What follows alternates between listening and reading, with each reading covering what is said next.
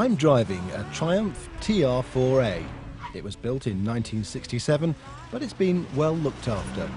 It's had lots of loving attention to keep it running long beyond its expected life.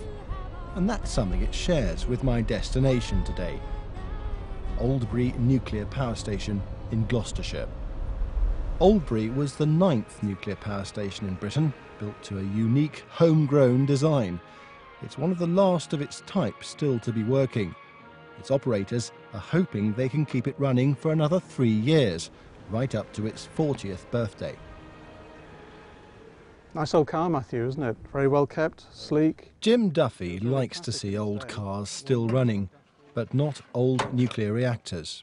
The thing is, you can take it apart. You can go inside, you can replace cylinders, you can replace pistons. You can't do that with Oldbury Power Station. It's much too radioactive inside.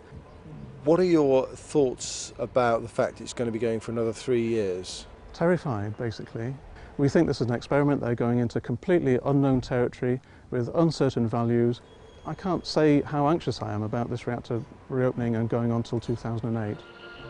These pictures from Berkeley Power Station show the reactor core as it was being built. The core consists of vertical columns built up from blocks of graphite machined to an accuracy of five thousandths of an inch. The problem is that these graphite blocks are damaged by the heat and radiation inside the reactor.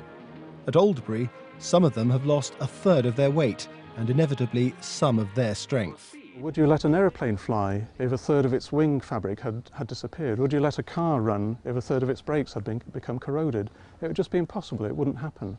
And yet, here we have nuclear reactors, very short distance from big populations from Bristol, uh, allowed to run at that level. Inside Out has discovered that government nuclear scientists have shared at least some of Jim Duffy's concerns.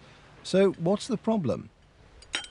Now, we can't go inside the reactor at Oldbury, it's far too radioactive to take a look. So instead, I've very carefully constructed a model out of sugar lumps. The core's made up of thousands of blocks of graphite, and over time, as they're bombarded by heat and radiation, they lose their strength, a bit like sugar lumps when they become wet.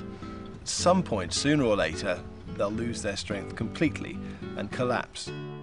And that could have disastrous consequences for the reactor.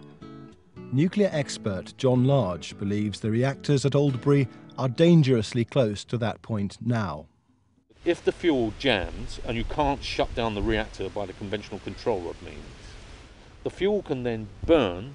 That makes the fuel into very fine particles, and the automatic dump valve vent the reactor and discharge a considerable amount of radioactivity in the form of a plume. That means that a large volume, a large number of members of the public, unprotected, have to either be evacuated or some countermeasures taken. And quite frankly, the speed of some of these reactor accident scenarios is such that you couldn't implement countermeasures quick enough to protect members of the public. Are you reassured by what you've read that this won't happen? No, I'm not reassured. The inspectorate says you don't really understand what's happening here. Evacuation and widespread contamination, a nightmare scenario. But could it really happen? I went to ask the government's own safety watchdogs. I, I think that the scenario that uh, John Large um, is presenting there